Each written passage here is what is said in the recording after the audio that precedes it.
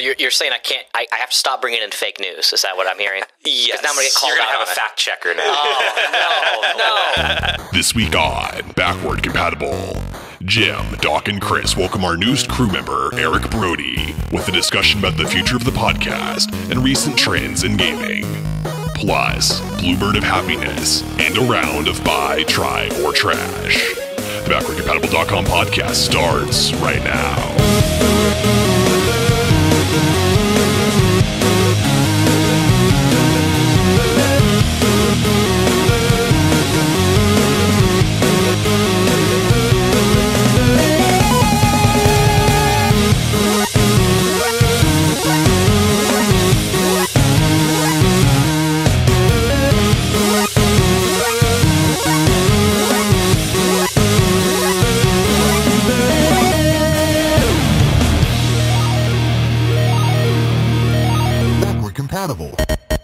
Hello, backward compatible listeners. Welcome to episode 126 of the backward-compatible.com podcast. Games and new media with a splash of academia. As always, I'm Chris. I'm joined today by Jim, Hey, everybody. and we're joined by Doc. Hello, hello. And we're joined for the first time officially by our newest full member of the podcast, Eric. Hello for the first time again. when did you get here? I just snuck in, snuck in the back door. Wow. yeah. mic was already set up. Go figure. What a coincidence. We just had an extra mic available. just, right? it just so happened, you know. Um, yeah. So those of you who have uh, followed the podcast have heard Eric before. Uh, he's joined us for a number of episodes. I think actually during episode 100 we were listing our most frequent guests, and I think you were at the top of the top of the list. Yeah, it was a very proud moment for me. um, and so I guess it's just the way things work on the podcast. You guest enough times to eventually bring you on. So um, that's that's how it's been working so that is far. a threat, by the way. Steer clear. so I guess now we need to start counting who's who's next. yeah, I think uh, I think Will would be up. yeah, Will Parsons. at this rate. We're- So We're after you. he's already kind of unofficially like a crew member for um, Role with It. yeah, I would for say. sure. With role with it. Yeah. Yeah, I would say so. He's one of the better GMs we know. so. Absolutely. Yeah. So um, as as Chris said, uh, my name is Eric Brodie. Um, I uh, have been a long time listener to the podcast and a long time friend. Actually, now like enough time has gone by. Um, and uh, so as far as what I actually do, I am a uh, game producer and uh, kind of digital marketer as well. I work for a studio that I co-founded uh, that's here in Dallas called Polynite Games. Um, we uh, launched our first title back in January. I know actually Chris mentioned it during like the anticipated games of the year because it was like either coming out that week or the week after that. So, um, so now I've done that. Now kind of doing the indie thing, and um, I'm kind of branching out a little bit as well myself, and kind of starting to uh, talk to other people about like flexing my marketing skills again and kind of do a little bit of that as the rest of the devs are kind of going back into their dev caves and working on that. Um, and so that gives me opportunity to do things like this again. Um, as far as uh, joining the podcast, uh, I kind of talked to you guys about it a little bit before we started recording, but now to have it officially, uh, I wanted to thank you guys for having me come on. Um, I'm really excited. I, I've I've always enjoyed, obviously, talking to you guys about thing, you know, these types of topics, and particularly your particular approach to these topics.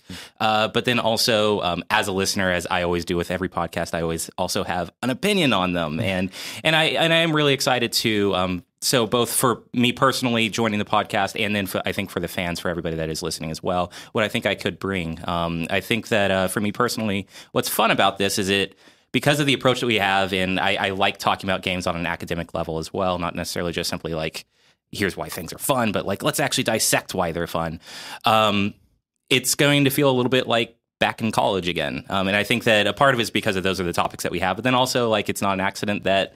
Chris, you were TA in one of my classes, and Doc, I took a couple classes with you. Indeed, you did. Yeah. So, um, so there's that element, and then I think that from kind of a broader perspective for the podcast itself, um, I'm excited to bring uh, a little bit of a different voice. We are kind of talking about uh, kind of some of the the the roles that you guys kind of have um, in it, and. Uh, not to put myself in a corner or anything like that or say this is this is what I'm going to be doing or anything, but uh, kind of the way that I like to approach any topic is uh, from what you would call the critical perspective, quote unquote. In that uh, I'm a really big fan of looking at all sides, um, and I I typically get a, an opinion on it, but then I have a reason for why I have that opinion, and I'm always I am always just one really good fact away from changing my opinion. um, and so uh, a lot of times I'll sometimes have opinions on games that are a little bit more contrarian to like kind of what the masses think, and that's totally fine because not necessarily that I'm contrarian, but like because I think way too deeply on a lot of these things. Um, and so I'm just ins- excited to kind of bring some of that to the to the team. Awesome. We're excited to have you for sure. Thank you, and you're welcome. Yeah, we're we're all very excited to to have you on the show. Um, I know when when it was talked about and pitched, we were you know out to lunch, and Chris was bringing up the idea, and Metaphorically. Uh, no, Doc- literally. we were literally, literally. out to lunch. Yes, and uh, Doc was you know immediately on board. We were talking very quickly, and I was just standing there. I was or sitting there rather, really confused because I misheard. It was a loud restaurant, and I misheard Chris, and I thought he was saying roadie. And I was I, in my head. I was picturing this person. I had this whole mental image of who this person Rhodey could be. I was picturing he was he was like you know six six six seven, dressed in flannel, full beard, and I'm just like, who is this person? And you were both like, come on, Rhodey. You know, we've we've had him on the show. He's a great guy. And I, and I was like, well, maybe we should just have him on and you know try out or something. And you know, not I wasn't really serious though. I was like, I don't know about this. Sounds kind of weird. And it took me a while, and then finally, I forget. I, I think I just straight up asked, "Okay, I don't know who you're talking about," because I was going along with it for a while. I was just getting too embarrassed. So at a certain point, I'm like, "Okay, I'm just going to ask. I'm just going to out myself. I don't know who you're talking about. Who are you talking about?" And then Chris says, "You know, Eric." And I go, oh, okay. So it took me a little bit. Then I was on board. Right. So, Cool. So you, you were that close to You're not making close. it. Though, like uh, the the kind of hipster that you kind of created in your mind, uh, I often consider myself an accidental hipster. So uh, I might go. bring some of that voice anyway. Cool. Great. I want to see you with the big beard. That If I could grow it, all I can get is just a little bit of a chin. That's I, pretty I much know it. that. I know yeah. that feeling. uh, yeah. It's time for Game Show, where the backward compatible crew play a game show kind of game on their gaming show. What sort of crazy game show challenges in store this week on Game Show? Let's find out right now on Game Show. we are going to move on to uh, game show, and uh, we're going to start with a game of buy, try, trash, and specifically targeting you, Eric, because we kind of want to see, or rather, give the audience an insight on who you are and what kind of games you like. And part of that is to give you difficult decisions to make. Right. right. So I'm gonna buy Chris. I'm gonna try Eric, and I'm gonna trash Jim. Oh, I'm sure. I'm, I'm sure that's the way it's going to go. That's fine. Is that, is that how this game is no, played? No, no, We're, we're going to actually talk about games and Oh, okay. uh, right. It's a, it's a gaming show, right? So, uh, um, Sometimes. yeah, sometimes. so the the idea is that I'm going to present you with uh, three games, and you're going to tell me which one you want to buy, which is you get to own the game, play it as much as you want, and beat it uh, if you choose to. Try, which is you only get to play it for what do we normally say like an hour. It's kind of like a demo. You're demoing the Yeah, experience. about an hour. You get Yeah. to experience it. You get to be. You're probably going to play enough to at least have maybe maybe an opinion on it. I mean, if it's a huge game, maybe not a very good one, but Mm. you'll be able to at least experience a little bit of it. And then trash is not only do you not get to play this game, it's like it doesn't exist. It's just gone. Right. Okay, You so- can never play it. So I know there's been various like versions of this in the past. Yes. So do other people still know of it and play it? It's just I know I will never be able to touch it, That- or that's a good point. And I- It's literally just written out of So history. in, in this in this particular circumstance, any game that you trash is henceforth completely like there's a somehow a gaming consensus that it is the best video game of all time of its type. And so you are missing out. Okay. And everyone is constantly telling you to play this game. And somehow you just can't. Like you just have this compulsion, you just cannot play it. Yeah. And it just it eats you up inside. It might Okay. drive you insane. We'll, okay, we'll sounds see. good. Meanwhile, my headcanon has always been because we started doing this originally for games that uh, hadn't come out yet. Yeah. And so Right, it was right. essentially That buy, makes try, or yeah. cancel. And so you're Right. canceling the project. it will never be released. And, Cancel and we might, I might actually do that. I think I will for. I'll do a couple of couple of rounds of this with you, and one of those will actually be for a game that hasn't come out yet. Okay. Um, and then it'll also include games that uh, the first one will be for game uh, games that are already out, which I believe you have played. Okay. We're gonna start off with. I know you're a big JRPG fan, Mhm. so I'm actually gonna name out some of um, some classic JRPGs that. I will assume that you've played. This is also kind of a test because if you haven't played this game, so I want to actually have to ask you to leave. Okay, cool. So, all right, so be ready. Oof. All right. Past Eric, I hope that you did me well. okay, so buy, try, or trash. Are you ready? Here we so. go. Here, here are the three games. Number one, Final Fantasy VII. Okay. Number two, Final Fantasy VI. Okay. Number three, Chrono Trigger. Okay, interesting. Um, man. So okay. essentially, if you trash one of these games, your memories of that game no longer exist. yeah. The good thing Um, is that all these games are already known from other people as being some one of the some of the best games of all time. So that part has already actually happened. It's like paycheck. They go in and they delete the, the Right. brain Oh, cells. yeah. you get Oh, to be in a bad Ben Affleck movie. Yeah. So where I'm where I'm coming on some of this is because like all three of these are either very like some of the best JRPGs ever made, or um, have had really uh, important like impactful elements to them that have shifted a lot of like kind of Im- impressions that people have on games, and like it's it's it's been big and important on the culture, right?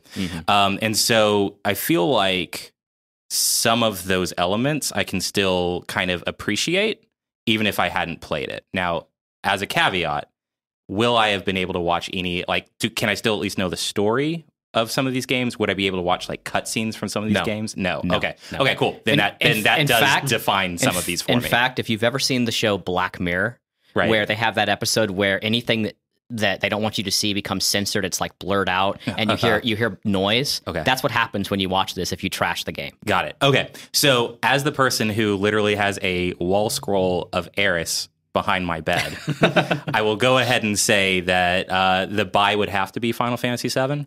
Um, even though, ironically, I feel that it's actually kind of the weakest of those three, um, and I think that a part of that is because of what we were talking about the the impact that that had on especially the Western market for RPGs and JRPGs. It introduced a lot of people to JRPGs, myself included. Um, I actually didn't get to play Seven until a little bit later, until I had a PS2 because I didn't have a PS1. Uh, but I had friends who did, and I was able to kind of get introduced to Seven and Eight and Nine through them, um, and that opened up that entire world for me. And so by not being able to have Seven in my history, that completely changes the person I am, the type of games that I enjoy, and some of the most impactful moments for me as a player and as a game player and a game fan. So Seven would definitely be the buy. Um, I feel that Chrono Trigger would need to be the try. Um, and the reason is on one element, uh, what it does from a game design perspective and what it did for JRPGs um, as, with its particular combat system is super interesting. And I think actually still today still feels fresh in a lot of ways. Um, even fan, like friends of mine who aren't really that into JRPGs, I can still hand it to them and they still enjoy it. Um, and some of the things that it did, like storytelling wise, with uh, um, it's uh, it, it utilizes uh, various endings uh, and multiple endings in the way that a lot of JRPGs do, but um, in ways that can be controlled almost like later on in history, like like VNs in really cool ways too. Um, and so then that would allow me to at least still kind of learn about what Chrono Trigger did that was interesting and important. Um, so Chrono Trigger would probably be the try. And then, unfortunately for me, what I actually think is the best of all of the Final Fantasy series, six would actually be the trash for me. Oh, you trash Final I Fantasy know. VI. Well, I now we know. know who Oh. caused the cataclysm. there you go. World of Darkness. yeah, Courtesy, no, but, but courtesy of Eric. for what it's worth, and t- right before they they uh, delete it from my brain, I will say I still think it's the best, but but it it is now gone for me. Okay, Chris, feel free to edit this Mm-hmm. Just with the part where Eric is trashing Final Fantasy VI. No, I'm, I'm just kidding. no, that that was designed to have no easy answer, of Yeah, course. no, so of course. those are all really highly regarded games. Some of my favorite games as well of all time. So definitely no easy answers there. So I'm gonna I'm gonna give you another uh, buy try trash, and this one I'm not necessarily I don't necessarily know for sure if these are games that you're interested in, Mm. uh, but we'll see. These are all these are some of the highly anticipated games from this year that um, are yet to release. Okay. So or uh, there is a caveat here is that some of these games potentially will not release uh, this year because frankly we can't control uh, we can't control necessarily what's going to happen. So uh, we'll just kind of see. Um, but okay so here we go. So by this this will give us some insight especially if you you one of these games stands out and you go "Oh, I don't even want to touch that. That'll be interesting too. Um, I might have that reaction to some of these too right? It's fine. Uh, number one God of War. Okay. Number two, Red Dead Redemption 2. Number three, Super Smash Bros. Switch. Okay. Same rules apply. Now, these games haven't come out yet. Yeah. So instead of trashing the game and erasing it from your memory, this game gets permanently canceled. And not only that, any other game in this series is also canceled. They will never make another one. That, that's Ooh, harsh. Actually, Never. So I want to make that clear. There isn't Okay. a, oh, I'll just wait for the next one. No, there will be no next one. No Dad of War 2? Oh, man. Okay, so no, this is great, and this is part of the reason we're doing this is to let people kind of get my opinions Yes, on games. exactly. Uh, so if that's really truly the case, and it gets rid of an entire franchise, not only am I okay with that, I'm actually kind of happy that this Ooh, okay. This, I'm spicy. I'm into it now. Why is he putting okay. the gloves on? I don't like Here we go. We're going. Uh, yeah. So the trash is a super easy one on that for me. Uh, God of War, absolutely. Um, just personally, not really a huge fan of the games. Um, I think that it was interesting in that it uh, kind of introduced QuickTime events um, to like games in an interesting way. I, you know, but like for me personally, um, it just never really provided much much interest to me. Um, I guess that the try in that case uh, would have to be Red Dead Redemption. Um, I am a huge fan of open world design, um, and the GTA games are some of my favorite games of all time. Um, I always used to say, uh, like when I was a few years ago, like I would often say, just the short answer for what's your favorite game of all time, I would just say, well, what's the most recent GTA? Let's just say that. Really? Yeah. Um, And uh, I, I don't know if that's really truly the case, but you know, it was just a quick way to make that discussion. We're gonna go get along quickly. just fine. um, and so because of that, like obviously Red Dead Redemption um, is uh, high on my list of things that I'm excited about. Um, but I feel like I've played it before. Um, you know, no matter what else they do with the game, it's you know being able to experience the story is going to be different. But really, in reality, if I'm looking for that Rockstar open world feel, I think I can achieve that in other games. It's not like it's going to be a different city. Yeah, right. Yeah, exactly. Different cactuses. Um, Grand Theft Horse. uh, and so then that would definitely make the buy Smash Brothers. Um, no matter what the Smash Brothers is, if it's a remake of four, if it's a completely new one, or if it's the rumored uh, just redoing Melee, which I know a lot of the Melee community wants. Uh, and a part of that is Smash Brothers is one of my favorite games ever. Um, I am I'm terrible at fighting games, but I am a really big fighting game fan. Uh, and I'm really a big part of like kind of like the community, especially like in the area and like and Smash Brothers is Dallas and Texas have a really big Smash Brothers like community and fan base, and um, to be able to be a part of that still, and really just it's one of the ultimate games of being able to just pick up and play at any time. Um, and so uh, yeah, and, and for me, it's one of my it's one of my favorite fighting games ever. So So I have one more, and it's kind of a big one. Um, and and so this one's actually not going to be games, right? So this is going to be a kind of a kind of a tough one. Um, so you're going to have to put on your your best, you know, Earth B Bizarro World cap to pull this one off, right? Um, buy, try, trash. So here's how it's going to work. Um, we're going to I'm going to actually name video game developers, right? Actual developers. Oh, my. So if you buy, essentially, you have access to the library, the entire library of this company, essentially, Okay. in perpetuum for all time. I'm not, not I do do not extrapolate that to mean that you get a whole bunch of really valuable games that you can then resell. That's not the case. It just means that you can play those games as much as you want. You have access to them, etc. I can play them on future systems, or the systems won't break. Stuff like Exactly. that. Yeah. Okay. Try means you get to essentially experience all those games for a short period of time. Each each individual game maybe for like an hour or something like that. So you get to experience the games, you get to be very familiar with them. You don't really get to play them enough to beat them, but you have a very a strong familiarity with with the, that company's games. Trash means that company no longer exists and has never existed. Period. Which could have quite a few ramifications in the game space Yeah, absolutely. um, because I'm not going to be I'm not going to be picking developers that are um, not big. What are you talking about? Hello Games is big. Sure, sure. Yes, Hello Games. Oh, geez. Yeah, I'd, I'd love to. I'd just pick a whole bunch like that. I think Zynga. You know, Mm, Hello yeah. Right, Games. yeah, uh, uh, yeah. yeah, there you go. So what happens if the one you trash would make the one that you buy not have happened? Ooh. Well, we're going to find out. Aren't we? yeah. And as a developer, do all of those developers from that company get other jobs? That's important to me. Uh, So those developers are not going to disappear. okay. Um, at all. We're not. We're not erasing people from existence. Oh, That's this isn't- horrible. this isn't murder? horrible. No, I'm not talking no, murder. There, Okay. there was no Miyamoto. no, no, no. By try murder. Um, no, no, they still Games were a mistake. They still exist, but remember that, that a lot some of these people, especially for, for a lot of these older companies, you know, they were a product of the company they were with, the people that they knew. Um, some of them may not have the same opportunities to be in the positions that they were to become influential. Yeah. So you have to kind of keep that in mind. They might end up just being a cog on someone else's project as opposed to being a voice for gaming, right? Um, so, and I'm not only going to pick old develop old publishers, by the way, old developers. I want to make that clear too. So here we go. Here are your choices, and I'm not going to make this easy on you. uh, number one, Nintendo. You knew I had to include Nintendo. Okay. They're in there. Like all of Nintendo. Yes, Wow. yes, all of Nintendo. Jim, I didn't know you had this in you. Number two, number two. I did. Um, yes, Chris, Chris was anticipating this. I bet. Um, number two, Rockstar. Okay. Uh, Rockstar, of course, being a lot newer than Nintendo. However, Oh. however, arguably being just as influential if you think about it. Nintendo extremely influential, but Rockstar arguably is responsible for the uh, open world boom that we're Mhm. still going through. A Mhm. major influence on games. So I think they're another good voice in this one. Uh, the third one, again, I feel extremely influential. Blizzard. Wow. Okay. Okay, so these are these are all very big. I'm not. This is not necessarily even a commentary on which games you like better because Yeah, it no. depends on how you. It depends on how you interpret the Yeah. the question and what it might mean. And right? what I what I care about in the industry as a whole, kind of Um, Exactly. Nintendo, are we including them as a hardware manufacturer? Good question. That is a great question.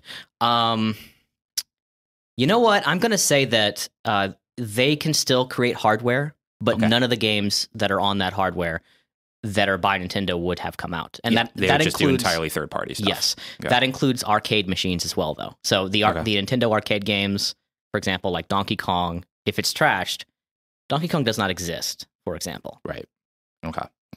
Um, the moment that you said it, I I felt like it had to absolutely be the the buy. Um, that would be Nintendo.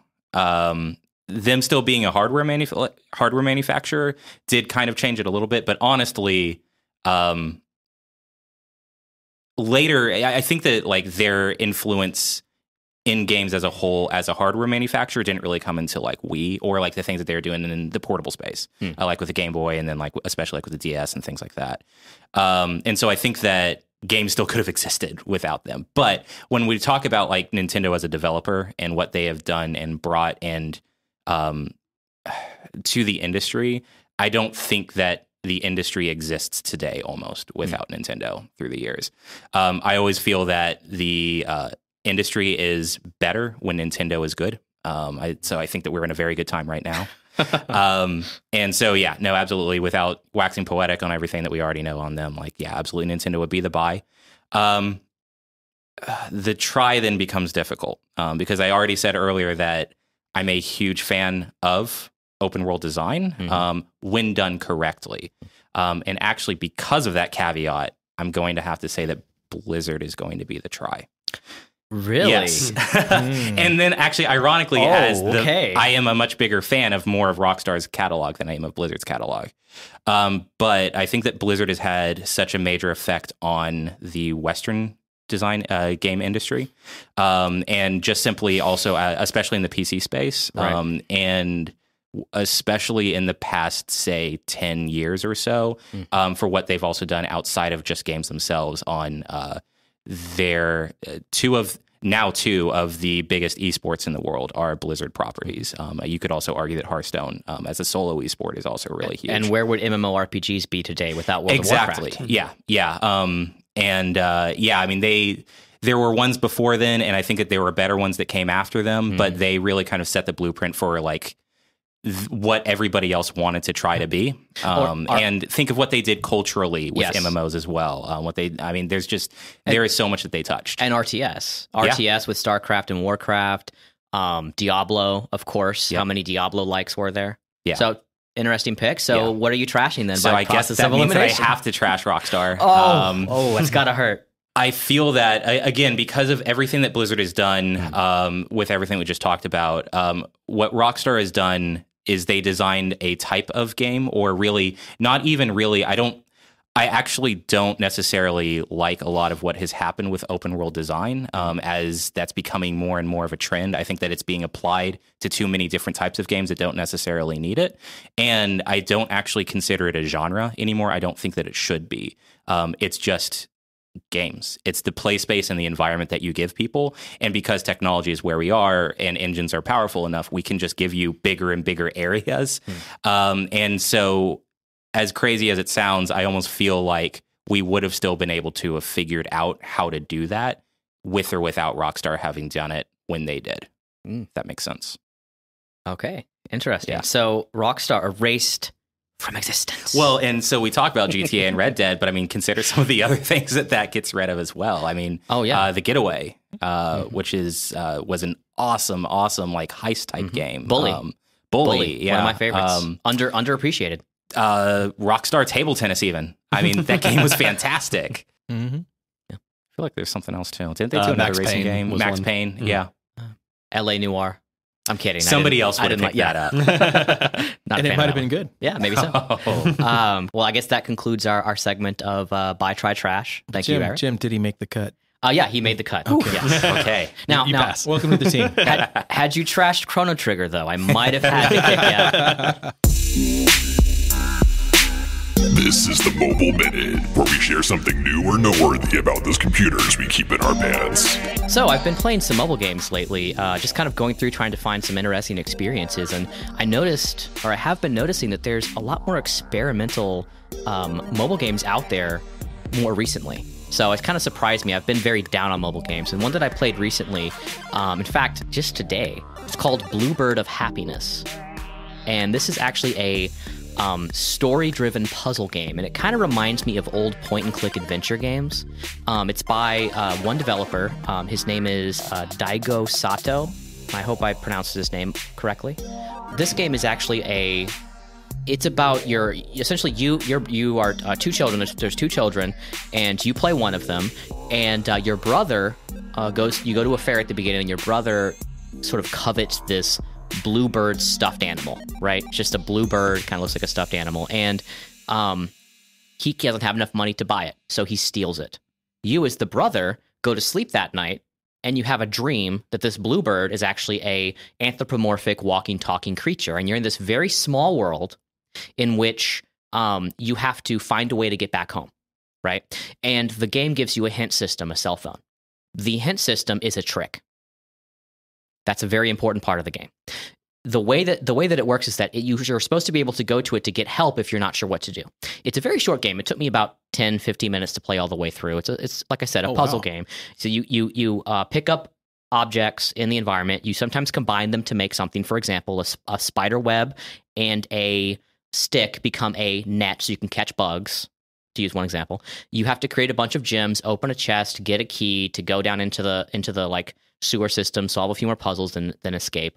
Um, but before you can escape, the cell phone is giving you information about um, in order to find an axe, and it tells you that the only way out is to destroy the bird. If you destroy the bird, it's a trick. If you destroy the bird, um, well, I'm gonna let you find that out for yourself.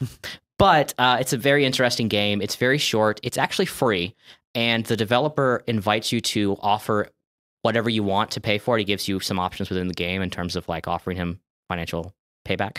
Um, I did go ahead and and, um, pay for the game after I played it because I felt like it was it gave me enough of an experience that it warranted some price for it. Um, but yeah, check it out. It's called Bluebird of Happiness. And now, this week's meaty topic of discussion.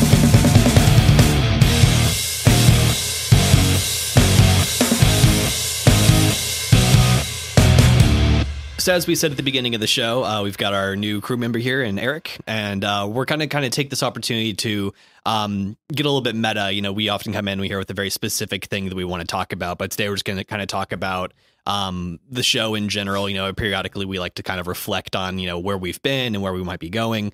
Um, incidentally, we're getting pretty close to I guess it'd be our four year anniversary um, in June. So um, we've been at this for a little while now, um, and we're now. Yeah, this is episode 126, and so we're already a quarter of a way to uh, 200. and we are almost decent at it. yeah, almost decent. um, and of course, we've also added Nick to the crew recently. Uh, you've not heard his voice on here um, super often. He tends to be more the behind the scenes. Obviously, he does our music for us, and he'll uh, join us for an occasional discussion. You've definitely heard his music. Yes, like every episode. Every ever. episode. You, you just heard it. Uh, uh, and so I guess he's probably the only one, technically, who's been on every single episode of the podcast uh, of our There crew. Yeah. Um, and so like one of the things that I kind of want to lead in, and this is just going to be an open ended discussion. Um, uh, I I was going to mention too that now that we have a growing cast, um, we're going to be able to do a little bit more uh, in terms of flexibility with who's on each show. So, um, just you know, speaking for myself, I do all the editing on the cast, and I, um, you know, try to be here for as many shows as I can be. But every now and then, uh, things get busy and I have to drop out. And so now, ever since, because when we started this, actually, um, you know, we were all in grad school, which is also very busy, but it was pretty much grad school and then part time work and then this, and so it wasn't a very intrusive thing uh, as far as you know, you know, lifestyle goes. Uh, and so for me, I'm excited to be able to potentially have the flexibility to bow out of a recording session uh, now that we have enough people that someone else could sub in and we can still have a three person squad. I also think that there's some really cool stuff that can happen as far as the particular voice of each combination in a way. We've already seen that actually sometimes like, you know, Jim, you and Doc have done a couple of episodes one on one. Doc and I've done a couple of one on one episodes. You and I've done one on ones.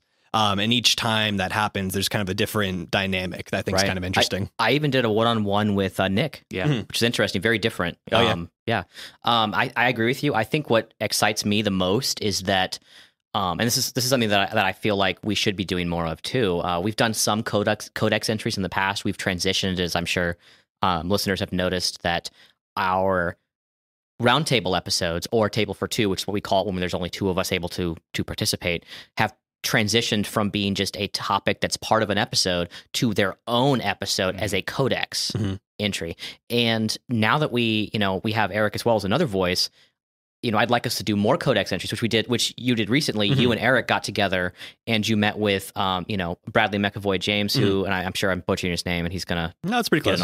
but uh, um, I didn't. He, you should be thankful that I didn't try an accent, by the way, because I, I, I was thinking about doing it. But uh, he's he's really cool. We've had him on the show a few times. He he does a great voice um, for us. Uh, you know, we always pay for his trips to fly down here, Yes. uh, of course. uh, but you you you with him, and you also um, worked with um, an oh geez, a Neptune is his Uh, yeah, his handle. Uh, his handle, yeah. yeah, who who works? Who's on um, the Houston Outlaws, I believe, for He- Overwatch League. He works for the company that owns the Outlaws. Okay. Okay. Thank you.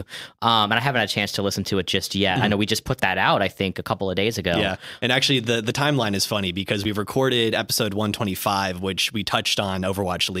We recorded that before we did the Overwatch Codex uh, with Nabil and with Bradley. Um, but that aired before the Yes, podcast. yes, and so yeah, uh, kind of like a funny little time a time shift there. So for anyone who's wondering, um, we talked about Overwatch on the podcast before we talked about it in the Codex. Um, if that colors your interpretation of uh, various points and opinions. Um, But I love that because that's a game where, like, oh, you know, Overwatch in particular. Um, is a game I'm not really, I never really have been as inter- as interested in. I mean, I've kind of seen a few people play it, playing it. I've actually never even played it, and I don't know if Doc is really all that interested in it as well. That will scare me. Yeah. So, but but but Chris, I know you're you're a big Overwatch player, and you've you've talked about it before. And Eric, you know, you're also involved in the um, Overwatch League and esports as well, and, and taking an interest in it like Chris has. So it's great that y'all could, for example, come together talk about it, and instead of it being a table for two. We're going to talk about just this one game. You kind of turned it into a larger codex, and you invited a couple of other guests to discuss it. We certainly wouldn't want to try to do a show with six people no, absolutely. nor would I feel comfortable on a, uh, you know on a show as a codex about a game that I haven't played. And I say that actually that's a lie. I would feel perfectly comfortable. I would just sound like I don't know what I'm talking about, which is par for the course. So I, I did that for you. um, and actually, and you'll you'll notice when you listen to that that um, you know, I I definitely took a back seat. Um, I sort of chimed in a couple times, but then let our guests run with it. And um, Nabil in particular had uh, great, great insights because he's got experience in shoutcasting and in esports. Um, so yeah, no, I'm I'm definitely excited about the prospect of having more um, kind of topics that aren't our typical discussion that we typically have on the Right. podcast. Um, I'm also intrigued by the idea of doing more um, solo things. Uh, we we early on kind of adapted a few of our works into audio essays. Uh, for example, I did one or two um, articles I wrote for the original version of the site back when we were doing blogs. Um, that I turned into an audio essay. Doc Yes, did a chapter yes. from uh, um, a chapter that he wrote for a book. Yep. Um, so doing some more things like that, where just one of us can hop in front of a mic, or maybe um, have a little quick call with someone online that we want to chat with about something, and just put those up as uh, uh, more content. Yeah, I think that's a great idea too. And I feel like it also gives us the opportunity or more opportunity to do a gaming focused, like a one game focused, I should say, um, codex entry as well. Like like a whether it's a round table if there's like three of us or more that want to get involved, or whether it's a table table for two, the fact that we have an extra person is more it's a little bit easier to do that. Mhm. Um, I've also kind of picked up. Um, obviously not just today, but um, the times that you've come that that we have some similar interests as Mhm. well, Eric. Uh, I know that for example, you when it comes to Overwatch and esports, that's something that more Chris is interested in, and you're also interested in as well. But um, I'm interested as well in a JRPG, so that could easily be like a like a, a roundtable topic for us three because I know we're we're into those Mhm. sort of games.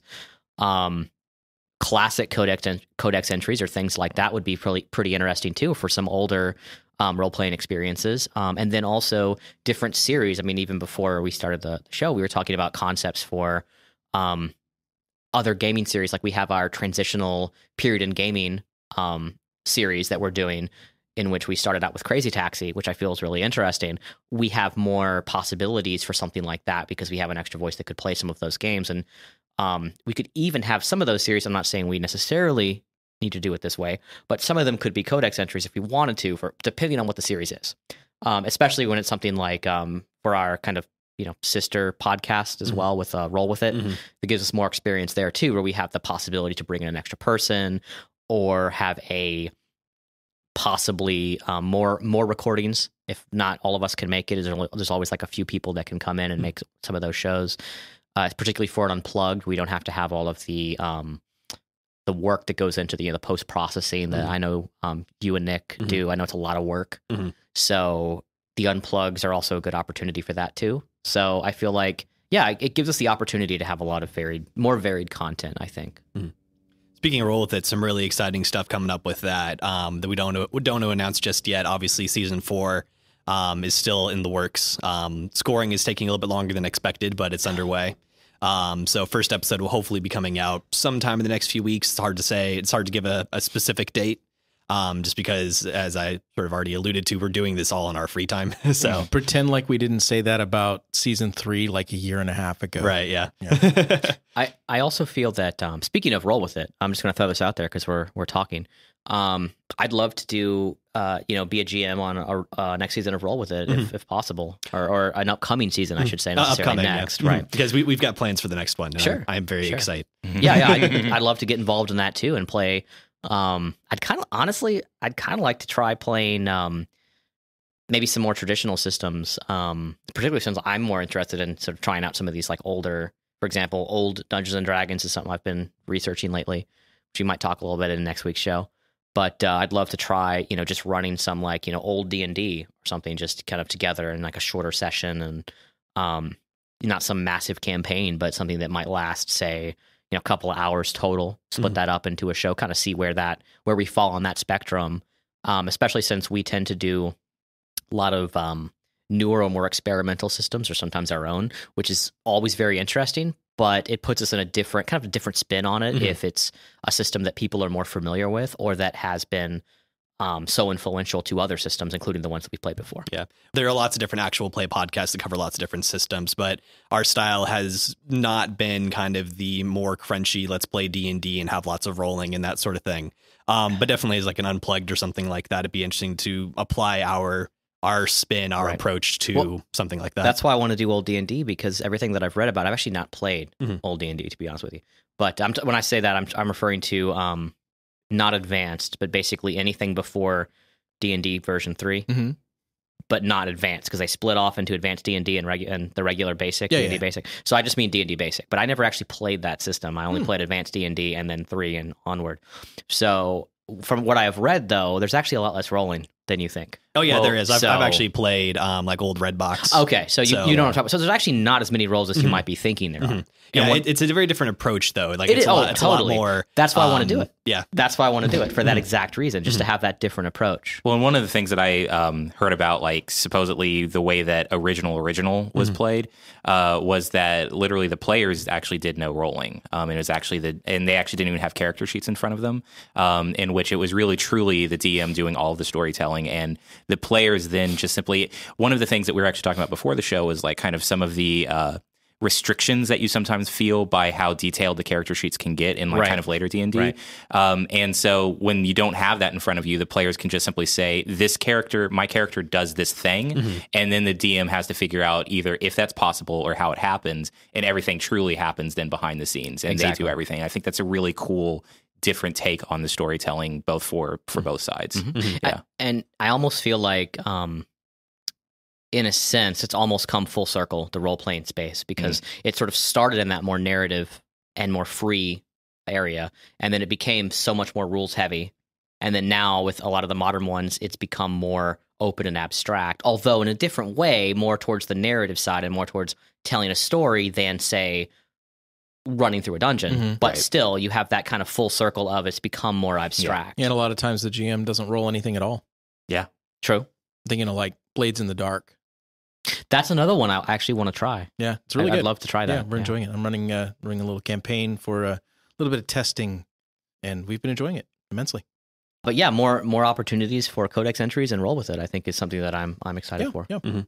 yeah, it'll be a good way to um, just kind of dissect uh, even more games, if you will. Um, you know, that's one of the things that I always find really interesting in um, kind of, you know, as as a designer um, and then as somebody who has like kind of followed games critically for so long um, is is the opportunity to kind of do that in a group setting again um, is going to be really fun for me. But I think also could be really interesting, um, you know, topics that we could do of at, we could probably get two of us to you know at least play you. Yeah. know one game and you know the more people that we have the the better opportunity to be able to do that um, and then as you said like some of the other elements uh, or other types of shows that we could do as well and other type of content that we could do um, I used to do a lot of blogging and I've missed that um, and you know just kind of to be able to sit down uh, to do an audio essay Mm-hmm. um, and to be able to dissect certain things that have uh, you know I feel about that happen in the industry or happen in design that um, you know I have opinions on Mhm. um, and uh, you know from from things essays that I've still continued to expand upon that I started back in college to uh, just other things that have hit me through the years so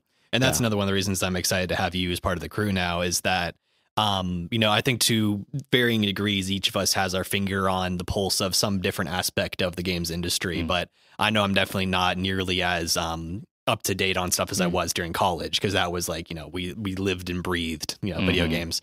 Um, And, and I, slight correction, Chris. I, I like to think that I have my my foot on the throat of certain Yeah. certain elements of the game industry. Absolutely. Well said. Well said. um, and so like I keep up with uh, things like tabletop RPGs, and you know I do have some particular interests, but I I don't like actively seek out stuff the same way I used to. And so I'm always uh, interested whenever you and I talk um, about some of the new things you might bring up that I haven't heard about. Or I know Jim also you do a lot of research and you keep up with news and that sort of thing. Um, so I think between the two of you guys kind of being our uh, chief um, timely research people in a sense, uh, just by the way that you guys tend to approach things, I think will be good um, to kind of keep things fresh on the cast. So you're, you're saying I can't? I, I have to stop bringing in fake news. Is that what I'm hearing? Yes. Because now I'm gonna get called you're gonna have on a it. fact checker Oh now no, no! Oh, I'm in trouble. That's, I'm gonna bring a lot less So, news now. wait, is that is that what happened with 121? I, I, I just threw out a number. I have no idea what 121 actually was off the top of my head. No, no, that's that's that's great. I, I agree. I think that's it's good to have um more more more voices, more people willing to kind of look at it. And I come at it from a different angle too. Mhm. So I love I love looking at and dissecting dissecting games. Um, I know I can sometimes be overly negative. That's one of my things, but um, I like that. I like kind of picking things apart. Um, and I also, even though I'm I'm quite analytical, I also can get pretty uh, pretty passionate and talk about some of these things. So it's good to have someone that can um, also kind of step in and bring uh, a more analytical approach and not uh, get too focused on um, emotion. Not the right word, but passion. Mm. You know, like that kind of thing. I, I I tend to consider myself. I can get a little worked up, um, and I think that's that's that's good. But we don't want every we don't we need different voices and different perspectives, and it's always it's always good to have those those sort of conversations from different angles and come at it from different sides. Doc, I was just combining my cheese with my uh, fishing pole and getting the mouse Oh, you're come out of the hole. You're like Bluebird You're- right now. you're playing Bluebird Happy? It's over here. it's an interesting game, right? is. It's I, actually quite good. I I've told you, it's, it's surprising. Um, I, I would love to do uh, while we're talking about this, is uh, throw it out there too and see what people think. I'd love to have a topic in which we do talk about um, the mobile gaming space. Maybe there's an you know the economy that I mentioned earlier, but also possibly the kind of like where I saw initially Steam could have gone, where it was a experimental space, and I feel like Steam has abandoned that and it's become shovelware space or um, lewd game space, where people because like how, how do you, well, it's like how do you compete? Like let's say so you're a and I, I've been thinking about this a lot actually. So you're, have you- opinions on this. Right. You, you you put out a game on Steam that not a lot of people know about, right? It's Right. not that expensive, and you're trying to put it out there, and you're, you maybe you don't have enough money to to get them to push it and market it super heavy, right? But you're like, this is a good game.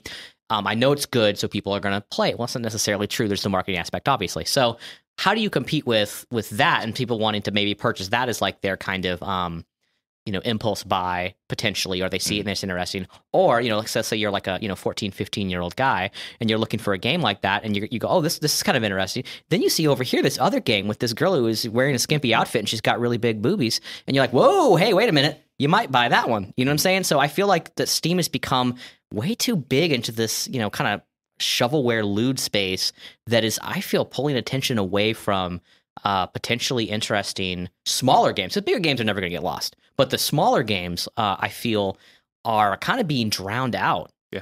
Uh, what? How do you feel about that? Especially from as, as an As indie producer- developer, right, Yeah. uh, no, I completely agree. Um, I think that uh, I. I think that the Steam Direct process um, was actually not, and almost I, I feel like was never even considered to be a solution to some of the problems that people were seeing with that. Um, and I think that it's actually made it even worse than what the Greenlight system was. Because before, um, of course, you had to go through. You could either pay to just simply get it onto the platform, or you went through Steam Greenlight, um, and uh, and that was just like a one time payment of like essentially you you getting you know Right. you know getting on Mhm, there. Um, and then you put a game up, and then you just simply get votes and goes through. And of course, a lot of times you still have that same element that you were talking about, Jim, where uh, there are things that catch people's attention, um, you know, and make people want to vote on that instead, or even just simply to even look at the trailer um, in the first place. And so uh, I feel like that was at least a little bit of a better gate and filter than you know what Steam Direct is, in which it's literally you you pay, I believe it's like hundred dollars and get get put on the platform. Um, and uh, th- that and since that has happened, you you can see the comparisons to the app market now. Um, and uh, in fact, a lot of games that are being put on there are now ports. If you even want to call it a port, it's uh, they hardly even do much to actually even adapt it Yeah, no from the mobile space, Some and they just simply just put it directly on. Yeah. Literally unplayable. Yeah. To coin a phrase. Yeah, but I mean, as long as there's a way that people can unlock, you know, achievements and trading cards and stuff like that, then there's they know they're still going to at least get their hundred dollars back. Hey, listeners, future Chris cutting in here for a moment. Unfortunately, we lost a portion of this week's recording, as we did with episode 123. What we then thought was a human error, we now suspect to have been an issue with either our recording software or the laptop we were using it on. We went on to talk for another 10 minutes or so about topics stemming from our discussion on recent trends on Steam, but with apologies, I can't recall any specifics at this point. Once again, we regret that the episode is not whole, but we have since moved to different recording software and started using a new computer. So our hope is that we can avoid having this issue again moving forward. Thank you for your patience. In any case, we did manage to record a few closing remarks, to which we now return. So I think that uh, you know we we discussed a lot of topics there. We kind of started that discussion as uh, you know the future of the podcast, and um, then kind of meandered through a few different other topics of like kind of what we find interesting. I think that what was really neat about that is it kind of reflected a lot of the things that each one of us finds interesting about like games in general.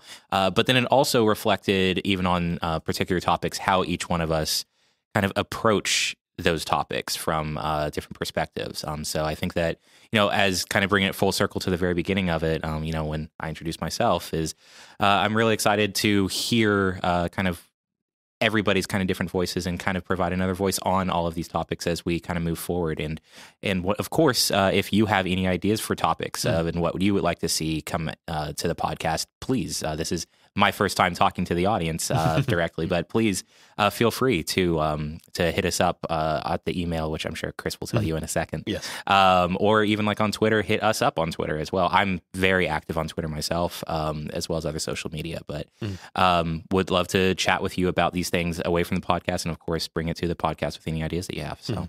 Yeah, we've said before, and we'll say again, and we say it every at the end of every episode. Um, you know, from that ap- academic perspective, that background that we come from, um, we really do believe that dialogue makes everyone better, and that's why the more voices we can have on the podcast, I think, the better it is overall. We get new perspectives. We can use those to temper our own opinions or to have just like new ideas. Like there, there's the there's an issue that you run into, I think, where um, you can get a little bit too insular in your thinking, Mhm. um, and it kind of shuts you down to new possibilities and to um, even like being able to appreciate new stuff that's coming out potentially because you might not uh, be willing to try something that you might uh, if you might you might if you heard someone else say something good about it or whatever the case might be. I'm, t- I'm being very generalistic right now, but uh, dialogue does make everyone better.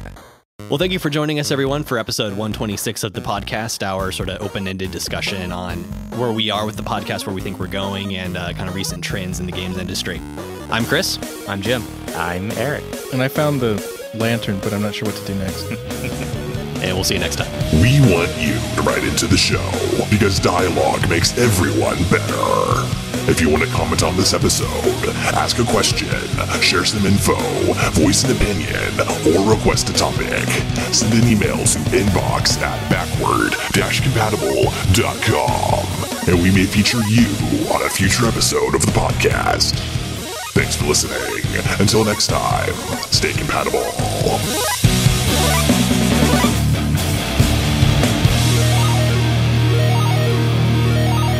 Compatible.